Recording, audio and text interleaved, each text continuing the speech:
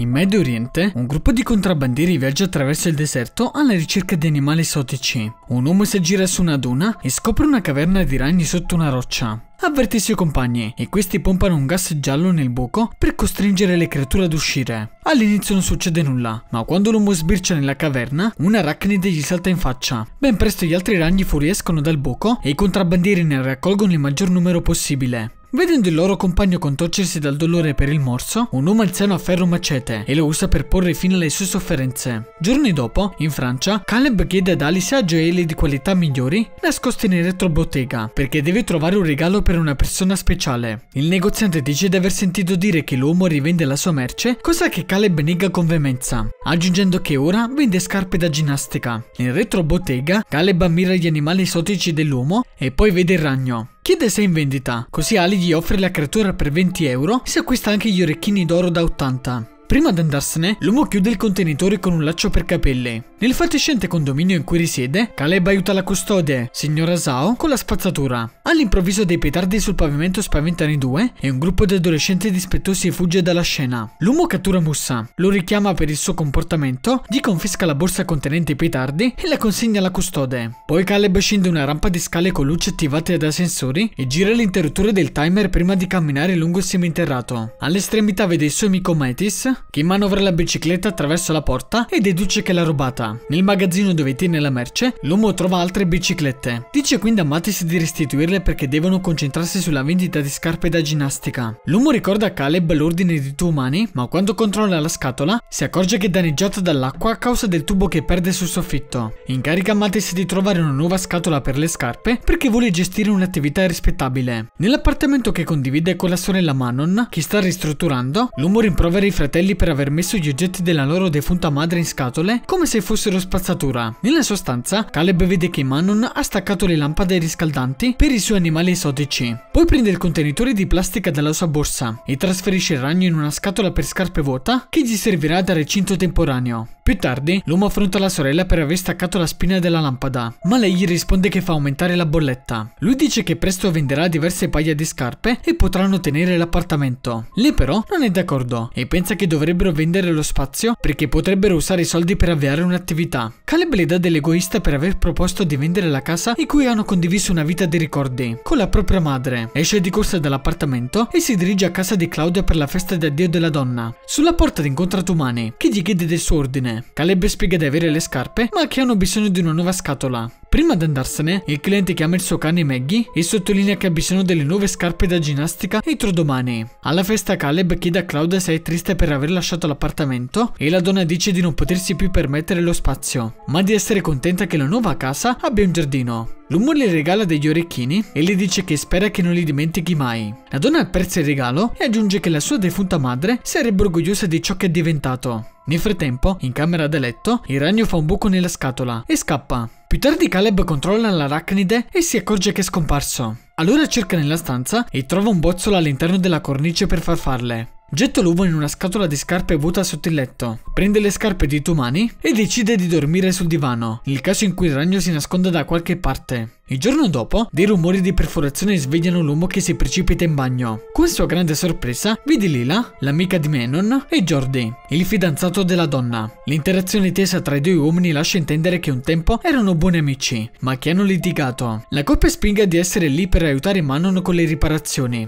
Nel frattempo, Mattis dice di essersi aggregato perché aveva il giorno libero dal lavoro. Poi aggiunge di aver trovato una nuova scatola per le scarpe di Tumani. Quel pomeriggio, Caleb consegna a Tumani le sue scarpe da ginnastica nel parcheggio. In seguito, Giles, un inquilino odioso che intende acquistare l'appartamento dei fratelli, sospetta che gli amici spaccino. Tumani chiama il suo cane e tornano indietro attraverso il corridoio nel seminterrato. L'uomo si toglie le vecchie scarpe da ginnastica, le getta nel cestino della custode e si siede a terra per indossare il nuovo paio. Tuttavia sente un forte dolore al piede. Quando controlla cosa c'è dentro, il ragno striscia sul suo braccio. Scaccia il ragno dal corpo e lo schiaccia con la scarpa da ginnastica. Improvvisamente centinaia di ragnetti emergono dalla scarpa e si arrampicano sul braccio. Mentre l'uomo si dimena in preda al panico, Meg ingerisce un ragno morto. Nel frattempo, Caleb torna all'appartamento e trova tutti in camera sua a prendersi gioco del suo hobby per gli animali esotici. Il suo telefono squilla e vede che è Tumani, ma lo ignora. Dopo aver detto a tutti di lasciare la sua stanza, chiude la porta e appoggia appoggia un asciugamano sul davanzale sconcertando Manon. Contemporaneamente, Tomani riesce a ritornare nel suo appartamento, nonostante gli effetti devastanti del morso velenoso. Un liquido giallastro fuoriesce dai suoi occhi, delle protuberanze infiammate ricoprono il suo braccio e inciampa stordito nell'appartamento, cercando di raggiungere il suo telefono. Tuttavia, l'uomo cade a terra, ha le convulsioni e alla fine muore. Più tardi, mentre Jordi e Mattis salgono le scale, il primo si lamenta di avere male alla gamba, attribuendo il dolore persistente ad una ferita subita anni prima. All'improvviso il signor Benzawi chiede agli uomini se hanno visto Tumani perché il suo cane abbaia senza sosta. Nel corridoio, Lila, un poliziotto municipale, sconsiglia a Gilles di sfondare la porta perché controlegge. Tuttavia, lei e altri vicini cedono e una volta buttata giù la porta, trovano il corpo senza vita di Tumani. Pochi minuti dopo arrivano le autorità e il tenente dice agli inquilini di tornare nei rispettivi appartamenti. Jordi spiega che lui e Lila non vivono lì, ma il poliziotto insiste affinché nessuno esca prima di aver visto un medico e di essersi assicurato che siano in buona salute, soprattutto perché non sanno ancora cosa abbia causato la morte di Tumani. Jace dice che Caleb ha venduto sostanze illegali alla vittima, spiegando il motivo della sua morte, e l'accusa fa arrabbiare quest'ultimo. Il tenente calma la situazione e chiede a tutti di tornare alle proprie case. Nella cucina dell'appartamento, dove Maggie si intrattiene con il gruppo, Jordi afferma che le protuberanze sul braccio di Tumani non sembrano segni segni di aghi, contrariamente a quanto sostiene Gilles. Nel frattempo la signora Zhao spruzza l'insetticida sulle ragnatele all'interno dell'armadietto della custode. A sua insaputa, decine di ragni adulti si muovono dietro la bocchetta dell'aria, rivelando che questa specie si sviluppa e si riproduce rapidamente. Nel bagno dell'appartamento, alcuni ragni entrano attraverso il tubo di scarico, mentre Lila, ignara, si lava le mani. Si accorge che l'asciugamano appeso alla porta si muove e quando controlla, un ragno le striscia sul braccio. La donna grida aiuto e si nasconde nella cabina della doccia. Jordi afferra un bicchiere per intrappolare la creatura, ma quando la donna gli ordina di ucciderla, lo fa. Il ragno sopravvive e striscia sul divisorio, così il ragazzo lo colpisce con un asciugamano e lo calpesta. Tuttavia, quando solleva l'asciugamano, migliaia di ragnetti si disperdono e altri emergono dallo scarico della doccia. Alla fine gli amici escono dal bagno e tappezzano tutti gli spazi per evitare che i ragni entrino All'inizio Caleb nega di aver avuto a che fare con le creature, ma alla fine ammette di aver comprato un ragno. Tuttavia, giura che la femmina acquistata era 10 volte più piccola di quelle presenti in bagno. In camera da letto, Mattis teorizza l'adattamento come ragione per cui la prole è molto più grande della femmina originale. Poi Jordi trova delle ragnatele nella cornice della farfalla e Caleb dice che ha fatto un bozzolo che ha messo in una scatola di scarpe. Quando l'amico vede centinaia di ragnette all'interno della scatola, la chiude rapidamente e Mattis ne fissa i bordi con del nastro adesivo motivo. Nel frattempo all'ingresso principale, la signora Zhao vede i poliziotti chiudere le porte dall'esterno, mettendo l'edificio in quarantena. Dopo aver notato altre ragnatele nel corridoio, controlla lo spazio sopra il soffitto e lo trova infestato di ragni. Spruzza quindi l'insetticida, ma quando sbircia di nuovo, un ragno le salta in faccia, facendo cadere la donna dalla scala. Nell'appartamento, Jordi, Lila e Manon vogliono andarsene e informare la polizia. Tuttavia Caleb e Matis insistono per salvare Mussa, Bansawi e Claudia. Alla fine Jordi dice che hanno 15 minuti per riunire gli altri inquilini. I due bussano alla porta dell'adolescente, ma lui non riesce a sentirli per via della musica ad alto volume. All'improvviso, Mussa vede un grosso ragno, ma quando cerca di schiacciarlo con il piede, lo manca e invece fa un buco nel muro. Infila la testa nell'apertura e subito decine di ragni lo attaccano. Urla, ma il padre che dorme in salotto non lo sente. Nel frattempo Caleb apre con forza la porta di Claudia che non risponde. Gli amici trovano la donna immobile in salotto. L'uomo si avvicina, ma mentre sta per toccare Claudia, dal suo corpo fuoriescono dei ragni.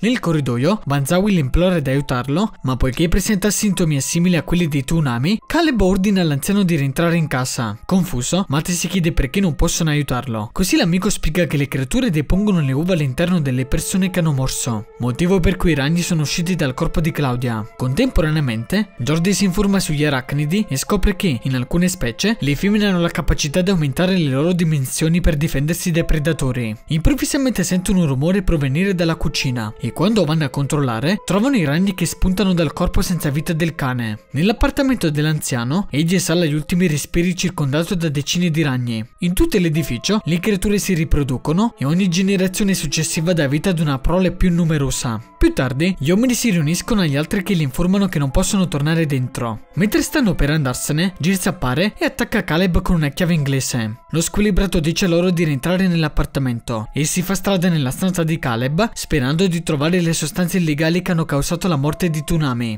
Dopo essersi scambiati sguardi complici, i due permettono a Gills di entrare nella stanza. Vede la scatola di scarpe sigillata e crede che il suo contenuto confermi i suoi sospetti. Tuttavia, quando fa un buco nella scatola, i ragni fuoriescono e lo attaccano. Gli amici lasciano quindi l'appartamento e chiudono la porta. Scendono le scale fino all'uscita laterale, ma scoprono che è invasa da arachnidi. Manon suggerisce il garage, ma dopo aver aperto la porta del corridoio del seminterrato, si accorgono che dovranno camminare lentamente attraverso il sentiero infestato dai ragni. Nonostante le proteste del fratello, Manon si offre volontaria per andare per ultima perché qualcuno deve caricare l'interruttore del timer per tenere accesa la luce. Dopo che gli altri hanno raggiunto la porta del parcheggio, la donna cammina lungo il corridoio. Proprio mentre il timer scade, Manon si imbatte in una ragnatela, ma riesce a liberarsi senza disturbare i ragni. Ora che sono al completo, Jordi cerca di aprire la porta. Con grande sorpresa, i poliziotti impediscono a loro di uscire. Gli uomini in uniforme ordinano al gruppo di rientrare nei loro appartamenti, ma i rumori di panico fanno arrabbiare i ragni. Improvvisamente i poliziotti spruzzano un gas nocivo attraverso la fessura per scoraggiare i sopravvissuti. Quando questi continuano a tirare la porta, gli uomini all'esterno iniziano a sparare per farli smettere. Il gas e il rumore allertano le pericolose creature e gli amici non hanno altra scelta che tornare di corsa all'estremità del corridoio. Dopo essere usciti dal tunnel, si rendono conto che Jordi è ancora dentro. Caleb cerca di tornare indietro a prenderlo, ma vedendo l'amico avvolto nella seta di ragno, capisce che è troppo tardi. L'uomo dice a Lila che non possono salvare il suo ragazzo, ma lei si rifiuta di crederci.